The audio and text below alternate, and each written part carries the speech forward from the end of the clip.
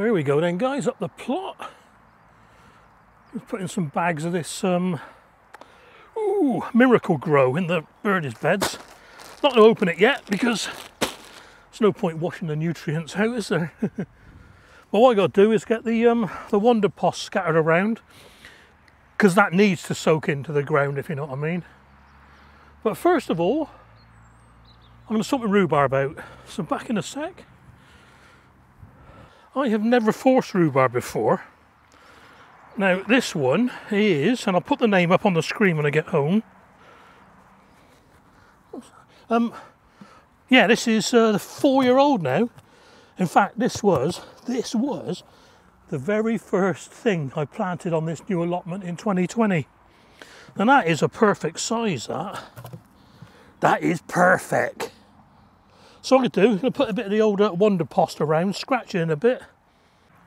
It's had a bit of um, chicken manure pellets and uh, what's the other one? Q4. It had some Q4 over the winter. So it should be all right.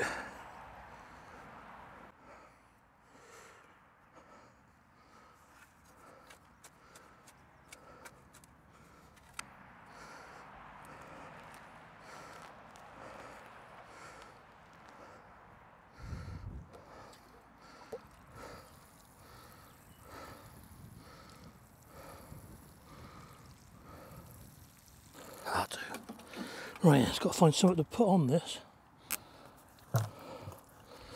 Weight down. Look at that, something's eating my pondlet. That's it, bag of ream in, that'll do.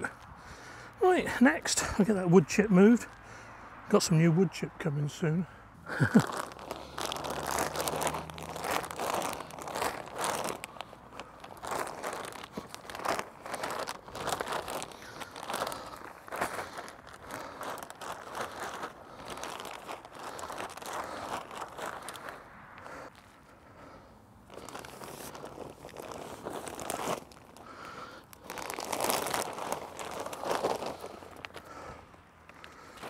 Yuck.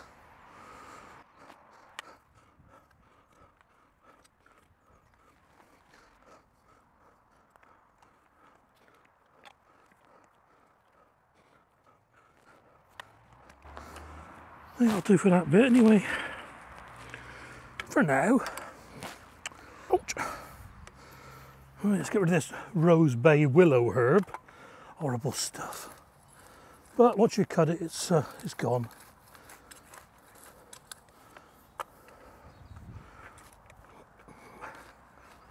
Because it self seeds everywhere. It's uh, some of it comes off my plot, I expect, because I'm a bit lazy sometimes, but some of it blows in. It's quite prevalent around here.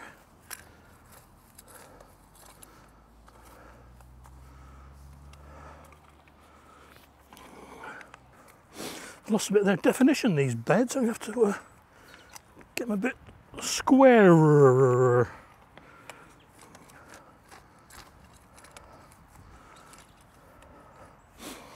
Mind you, I expect a lot of that's down to that blooming rain we've had.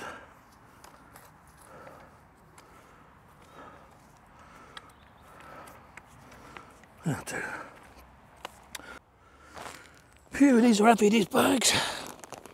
And they're not, uh, it's not that they're wet, they're just heavy, 20 kilograms each.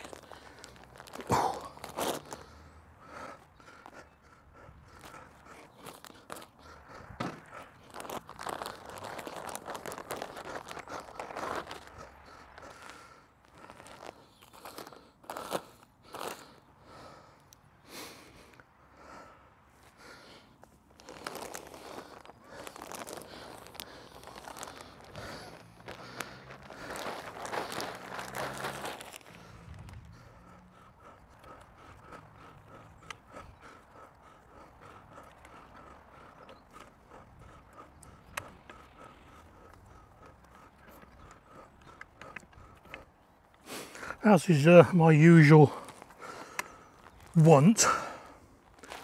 Let me show you.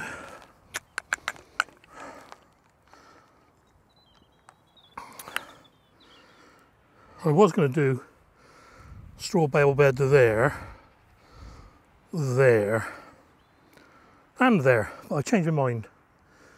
Just in case it doesn't work. No, I, I have no doubt it won't work. Does that make sense? I know it will work, but for this year, I'm just going to do there, there, and something along the back behind the wheelbarrow on the borderline there.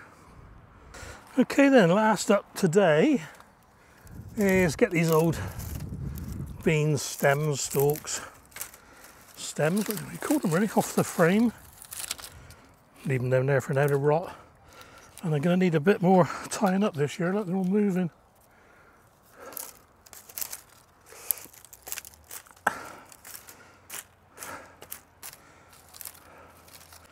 Funny how these, I'm going to cut myself on the throat here, but how, funny how these hazel sticks have lasted, what well, this be their third year, and the ones that were behind me didn't last one year. Weird, isn't it?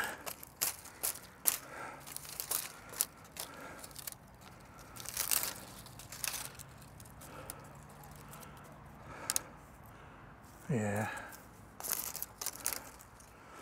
And those um, We've got some more Wonder Pasta going down here as well. So.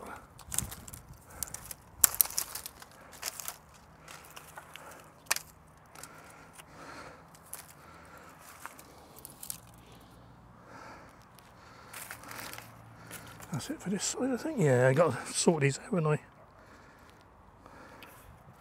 All right, bring the glue with me again tomorrow then.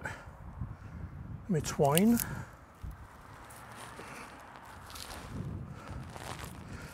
Funny how last year I was was just chatting to a plot neighbour. last year everybody else was sort of harvesting their beans and mine was just starting. Isn't it weird? And they carried on until October, I think it was.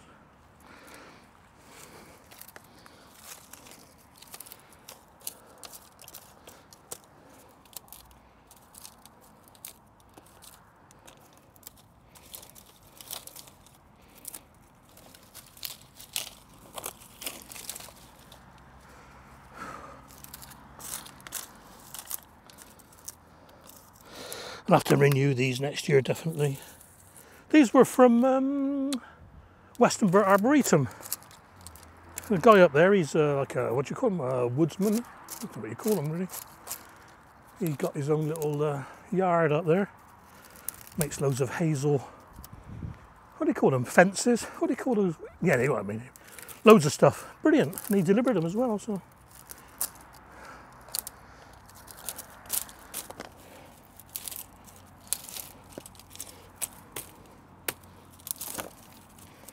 Yeah, down there, all the rest of that is on. And look, you can't see it, but under there, that's the pea sticks I bought at the same time, look. So, yeah, that'll do.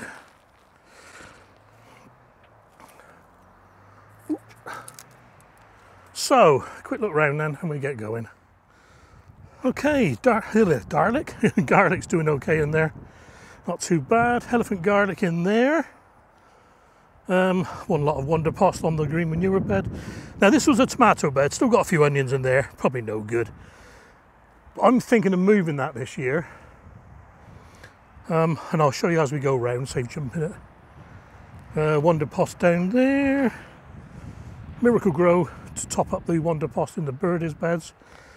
A couple of old um, pots of uh, chili compost there.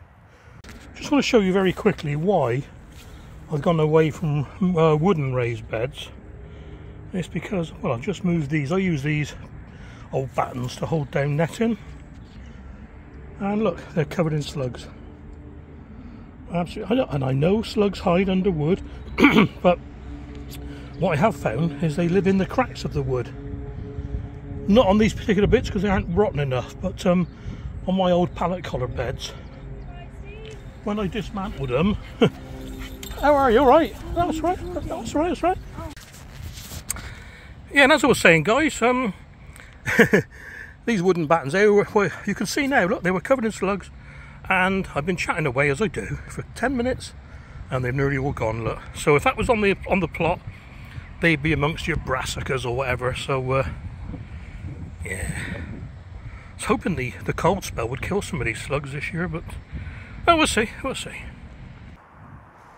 Uh, Wonder Posta go under there as well. Need to get that done pretty soon actually, so it can get in the ground before the beans. This was where the frame was last year, and it was impractical. Couldn't get between the two, and the um, the black currants were in the way as well. So I'm going to sort that out. It's dumping ground at the moment. Uh, Wonder Posta go on there. I was going to move this wood chip today, but I got a delivery coming. Let's get the shadow. Get the shadow at. I was going to move this wood chip today, but I got a delivery coming. So we got Wonder Posta under the bean frame, climbing frame. It's not a bean frame, it's a climbing frame. There will be some French beans on there, and peas obviously. Maybe a melon, and maybe a tromboncino or two. More bags of the old Wonder Posta there. Sweet corn bed, that's just been rotting away nicely over the winter. They're just snapping off now at the roots, so they're, they're rotted down nicely. Um, that one there was, that was the leeks, sorry. I was going to pick some, they're a bit mushy. They're okay in the centre, but by the time you've peeled the mushy bits on the outside, it's not worth it. Now this is where I'm thinking of doing the tomatoes. Um, I can't see those cabbages coming to much. I'll check when I get home, see when I planted them, see if it's worth keeping. But that's quite a wide bed, that one, because I was going down the, the route of um, doubling the size of my beds. So I can get more tomatoes in there then, can I? yeah. Okay, more Wonderpost. Bit on the end there. Uh, broad beans and peas in there. Overwintering broad beans, they're okay. They'll be a week or two early. But there'd only be one or two beans in a pod, so you got a question, is it worthwhile, you know? Uh, Wonderpost on this one here, which you just seen me do. And these two are going to be straw bale. And that's a dumping ground at the moment. I'm going to let that sort of rot down a little bit, get the goodness out of it. No point putting it in. Where are we? Can you see that? Can't even see where we are now. There we are, over there. No point putting it in the communal compost over there. Never going to use it. As well let it rot down on my own plot. Well, that's it, guys. Um, yeah, get home and dump the uh, dump those bags. Oh, excuse me. It's a quick overview before we go. There we are. That. Sadly, um, Harry the Hawkeye didn't make it. He was beyond economical repair. So whether I buy a new one or not, I don't know. Not sure if it worked really. It's one of those things you buy it and you convince yourself it works. uh, we'll see. Oh, that's an idea. I like that. I like that archway there. Might have to make something natural like that. Yep, yep, yep. Right. We could grow one, I suppose. Grow an archway. There. Yeah, right, I'm talking to myself now, so uh, get it going, guys, and uh, catch you soon.